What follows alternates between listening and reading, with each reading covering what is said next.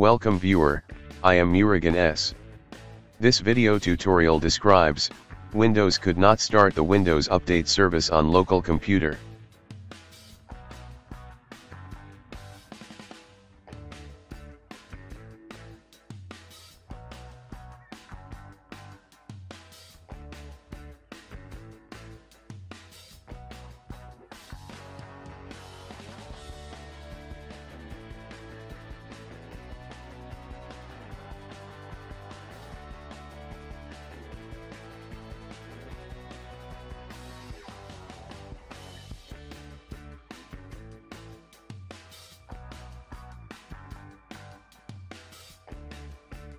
Type regedit in Windows search bar, right-click Run as administrator.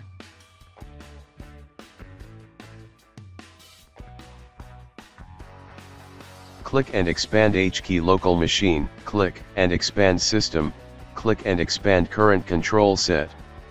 Click and expand services, delete WUA key.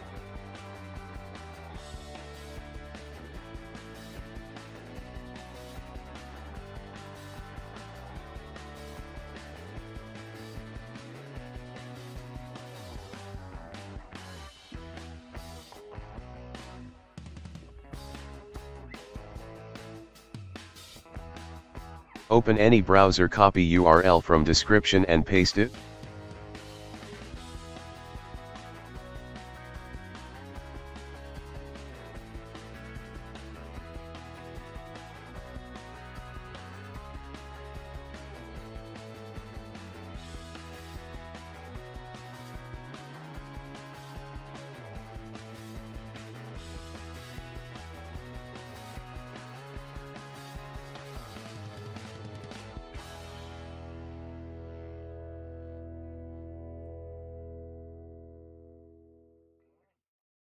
Right-click Registry File, click Merge.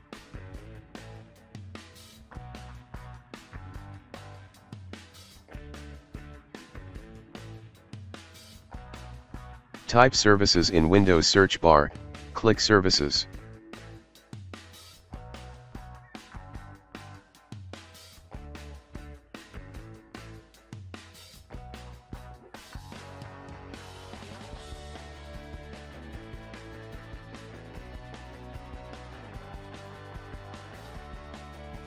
I hope this video tutorial helps to you, please like, share and don't forget to subscribe my channel, thank you very much, see you next video.